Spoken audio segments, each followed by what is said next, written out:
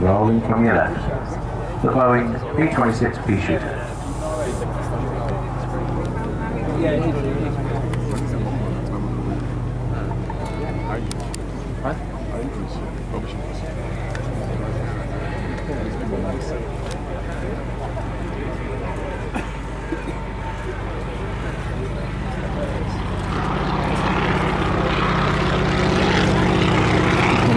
first entered service in 1936 as uh, a pursuit fighter. Uh, and although it was the first all-metal US fighter, much like the Hawker Hurricane, it represented the end of an era of fighter design, with fixed undercarriage, open cockpit, wire brace wings, and light armament of just two 30 caliber machine guns.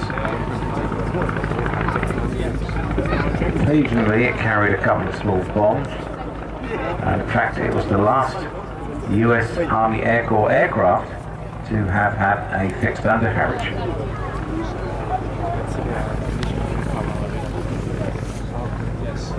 Boeing decided to use wire bracing to keep down the drag and squeeze out a few more miles per hour.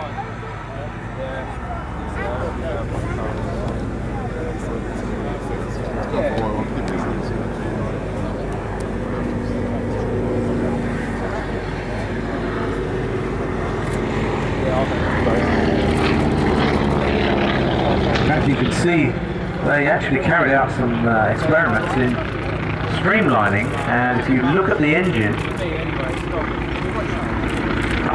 they found that uh, by putting in a simple cowling over the engine cylinders, they could get 17% speed increase. And look at the engine, you see the cowling.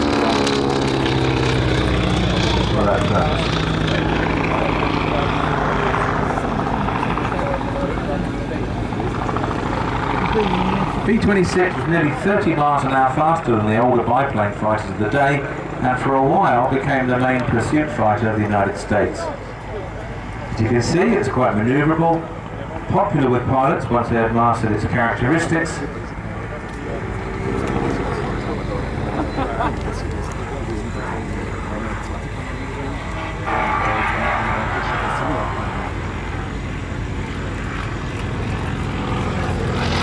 In fact, although well, the Covenant now, some of the very first Japanese aircraft shot down in the Second World War were by pea shooters based in the Philippines.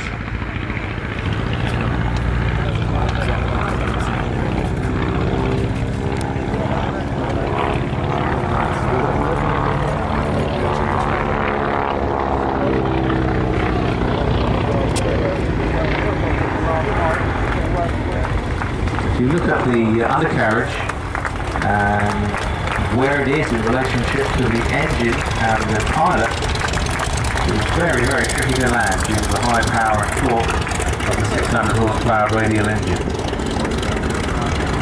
The ultra short fuselage and relatively high landing speed didn't help either. A number of uh, P-26s and pilots were lost in subsequent landing. They killed that by putting in flaps and a reinforced roll bar.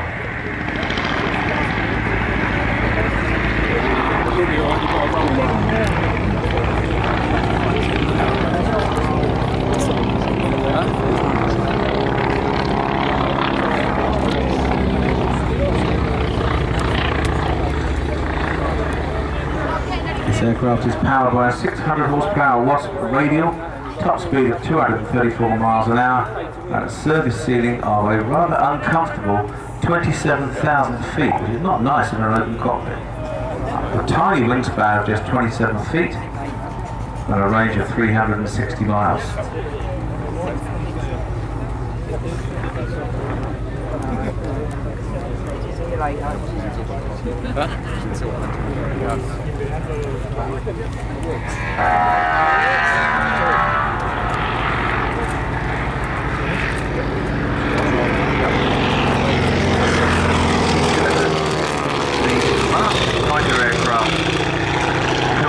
Produced by Boeing until it bought Lockheed Martin in 97 and then produced the F-15.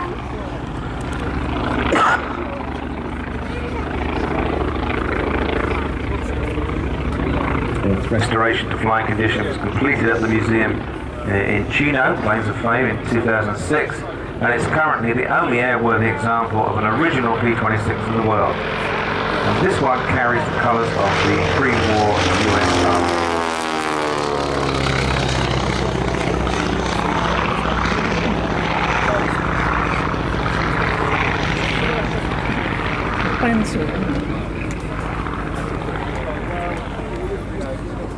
Last pass coming up.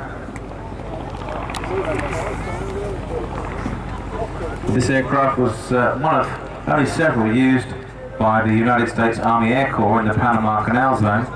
And the type also gave a pretty good account of itself in the Sino-Japanese campaign with a number of kills scored.